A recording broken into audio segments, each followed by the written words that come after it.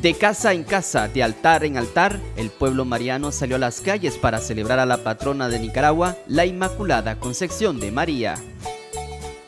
Gracias a Dios este año nos bendijo y la estamos celebrando con amor, alegre, entusiasmada, porque por ella hemos recibido demasiados favores, la salud de mis hijas, mi esposo y siempre la familia unida. Normal, todo tranquilo, gracias a Dios. La gente, si ustedes han visto, pues acudido acá al altar al cantar y pues ahí se le reparte tradicionalmente la gorra, como decimos.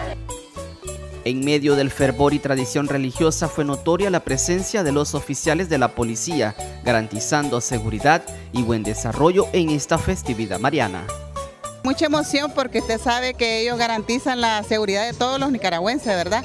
Y es muy, muy lindo lo que están haciendo porque están dando inicio a que Nicaragua sigue y estamos en paz y gracias a Diosito y a ellos que guardan la seguridad de todos los ciudadanos. Realmente feliz de ver la Policía Nacional en las calles, cuidándonos con nosotros, disfrutando. Espacio más para alabar, para bendecir, para cantar a María, que es María, como dice la consigna, es de Nicaragua, que Nicaragua es de María. Por lo tanto, cualquier espacio, sea acuático, sea terrestre, sea aéreo, de cualquier manera, siempre estaremos unidos a ella.